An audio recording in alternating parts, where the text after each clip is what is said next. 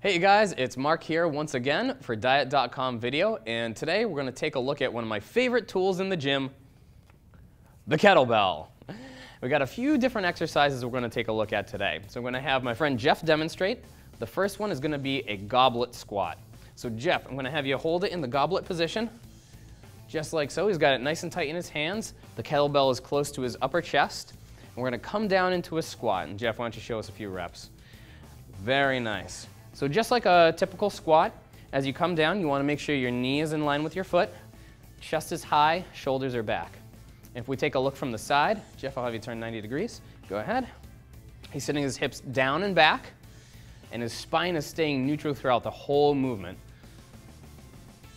That's a good looking squat. All right. So the second exercise we're going to take a look at is a kettlebell swing. So with a squat, we really want to get more of a vertical movement of the hips. With a kettlebell swing, it's more of a horizontal back and forward movement. So most of the work is coming from this hip joint. What we don't want to have happen is a rounded back as we come down. Make sure it's nice and neutral as we push our hips behind us. All right, Jeff, let's see a couple reps here. Excellent. So the arms aren't doing much work other than holding on to the kettlebell. Don't worry about how high it goes. We want the hips to be doing the work, not the arms and shoulders. Very nice, Jeff. Why don't you turn 90 degrees, give us a side view. Good, get a few more reps here.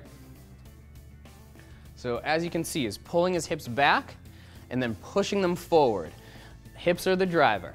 His spine is staying nice and straight. Jeff, the only thing I want you to do is keep your chin tucked as you go down.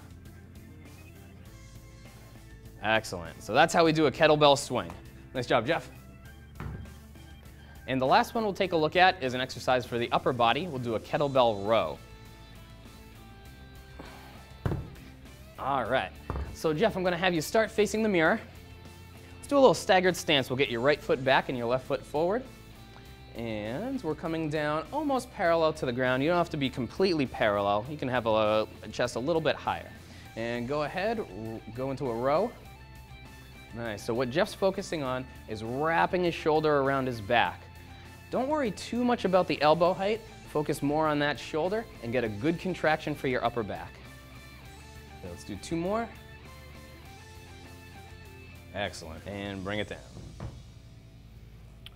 All right, so we have our goblet squats, our kettlebell swings, and our single arm rows with the kettlebell. Those are three great exercises you can use for strength or a little bit of conditioning.